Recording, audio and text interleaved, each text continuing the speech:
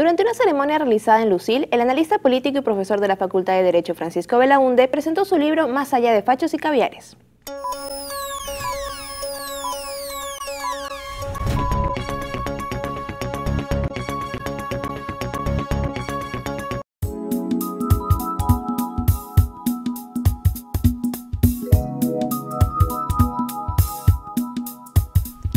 Más allá de fachos y caviares es la última publicación de Francisco Belaunde, analista político internacional peruano y profesor de la Facultad de Derecho y Relaciones Internacionales USIL, quien presentó su libro en las instalaciones de nuestra casa de estudios. Yo pienso que es muy importante que haya una participación lo más eh, numerosa posible de los ciudadanos, de interesarse en la política porque como se dice, si uno se participa en la política, participan otros que de repente son menos recomendables. Entonces yo creo que todos los ciudadanos tienen que participar y, dar lo suyo desde el lugar que le corresponde. La presentación contó con la participación de destacadas personalidades como la ex ministra de Justicia y Derechos Humanos, Marisol Pérez Tello, y Luis Fernando Núñez, analista político y consultor en marketing político.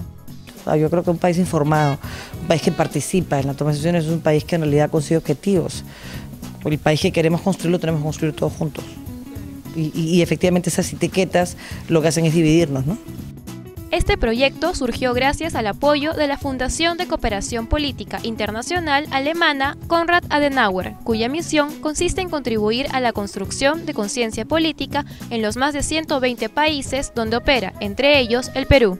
Yo conocí a Francisco cuando llegué aquí y bueno, eh, discutimos y bueno, coincidimos en que este, este enfrenta, esta política de enfrentamiento, el insulto, le hacía muy mal a la democracia y entonces pues discutimos y le propuse por qué no escribes así un, un, ensayo y como que así discutiéndolo salió esa idea y que él lo hizo de una excelente forma. Más allá de fachos y caviares de Francisco Belaunde es una propuesta que busca generar un debate político alturado, propio de una sociedad democrática donde los ataques e insultos no tengan lugar. Con cámara de Alejandra Mejía informó Andrea Risco para USIL TV.